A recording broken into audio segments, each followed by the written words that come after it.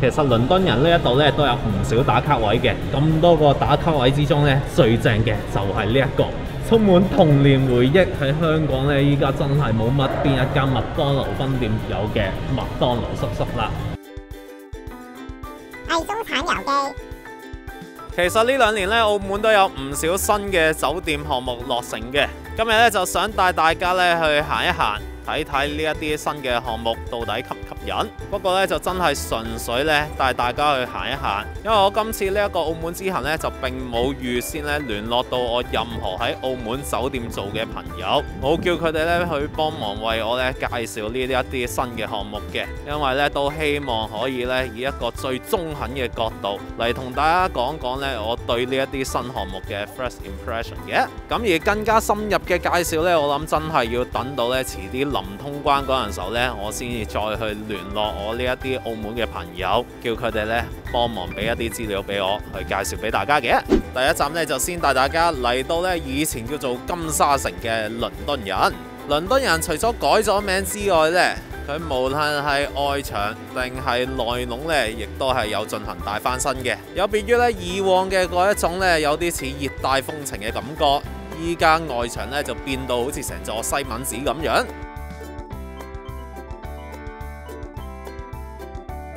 而入面嘅裝修咧，亦都係變咗做以黑白灰三隻色嚟做主調嘅英倫風格嘅。雖然我自己就覺得啊，毫無疑問入面嘅裝修咧的而且確係 brand 咗好多嘅。咁但係我有澳門嘅朋友咧就同我講啊，佢覺得咧成個裝修咧係冇以前嘅咁好睇，加以前嘅嗰一種熱帶風情咧喺室內部分咧係種滿咗好多樹嘅。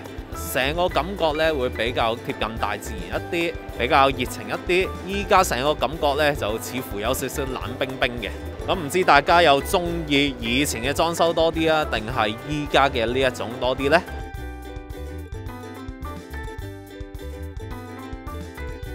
咁但係可能係由於咧外牆嘅裝修咧未完全搞好啊，加上西敏寺嘅風格咧係會比較灰灰啡啡，冇以前望落咁光鮮啊。如果單論外牆嘅話咧，我會比較中意以前嘅多少少嘅。咁而除咗外牆同埋內籠翻新咗之外啦，就好似威尼斯人咧有條大運河。巴黎人呢就有一個迷你版嘅巴黎鐵塔，倫敦人呢一度呢當然都係有啲呢好適合用嚟打卡嘅地標建築啦，因此佢就喺出面呢就整咗一個迷你版嘅大笨鐘嘅。不過都係講一句啦，可能係由於呢依家成個工程呢未完全完成晒啊。咁所以我就暫時都未留意到有啲咩特別嘅燈光，又或者特別嘅報時效果嘅。對比起巴黎人嗰個巴黎鐵塔嚟講呢，暫時覺得係略為有少少單調嘅。其實倫敦人呢一度咧都有唔少打卡位嘅，譬如我見到咧有啲巨型嘅英式茶杯可以俾人坐喺入面啦，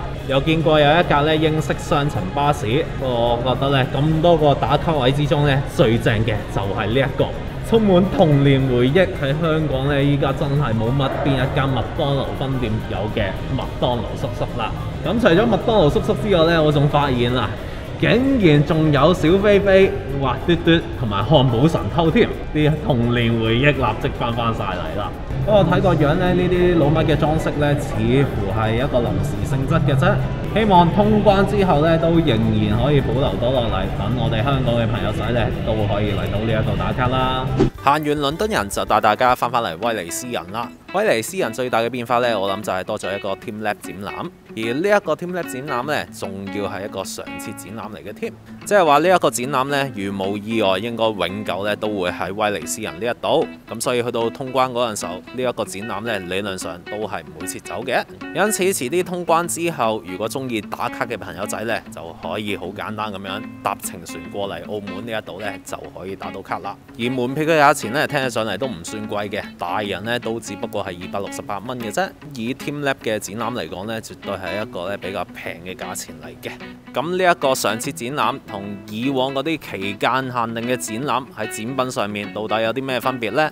唔怕老實同大家講啦，TeamLab 展覽呢，我都應該去過三至四個左右噶啦。咁而睇翻呢一度嗰啲宣傳品上面嗰啲相啊，唔少呢老實講都係熟口熟面嘅。咁不過我亦都發現呢，有啲係我從來都未見過，譬如我身後面嘅呢一幅就係我從來都未見過嘅。咁到底呢一個展入面有幾多呢？真係比較少見嘅展品。咁同埋呢啲展品到底正唔正呢？我諗就要等到遲啲真係入去呢，先至答到大家啦。跟住咧就帶大家翻返嚟 Galaxy，同大家講講呢一邊咧到底有啲咩變化嘅。出年咧 Galaxy 係會新增兩棟酒店，其中一棟咧就係位於依家嘅 JW 萬豪酒店嘅斜對面，威尼斯人嘅正對面。呢一度咧除咗會係一個國際會議展覽中心之外，而樓上咧亦都會係安達仕酒店 Andaz Hotel 嚟嘅。而喺水晶大堂呢一度，我身後面嘅呢啲圍板嘅後面咧。Galaxy 就喺呢一度咧起咗一棟全新嘅酒店大樓，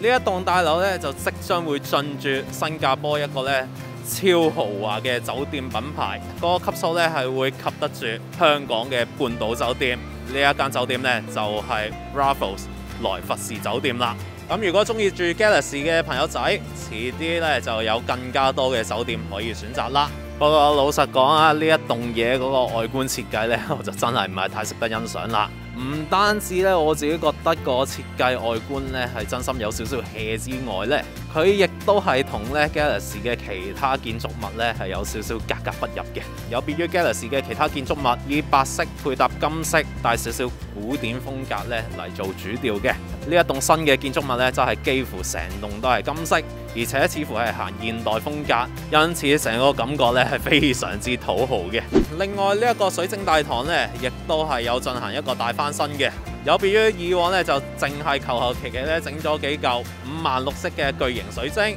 依家咧就係變成咗一個咧疑似係用水晶嚟整成嘅涼亭噴水池，靚唔靚咧就見仁見智啦。咁不過咧我就見到真係有好多大媽咧會特登走過嚟呢一邊打卡嘅。中意玩翻兩鋪嘅朋友仔呢，我就建議大家呢，遲啲嚟到澳門玩呢，記住要量力而為，千祈咧就唔好輸到連底褲都冇買。咁我以前介紹過，位於 Galaxy 底下嘅嗰一間呢，可以話係全路氹最平嘅嗰一間，買十九蚊飯嘅餐廳快富站呢。我今次嚟到，居然係消失咗喎，直頭連落去下面嘅嗰一條扶手電梯呢都唔見咗添，依家呢，就填平咗。變咗做呢一個澳門旅遊局嘅宣傳站，因此嚟玩嘅話呢，就記住要睇住自己嘅荷包，量力而為。唔係嘅話呢，你分分鐘係唔夠錢喺澳門呢一度食飯嘅。好啦，今集就先嚟到呢一度先，下一集呢，就會帶大家去睇睇澳門另外兩間早幾個月先至新開嘅酒店。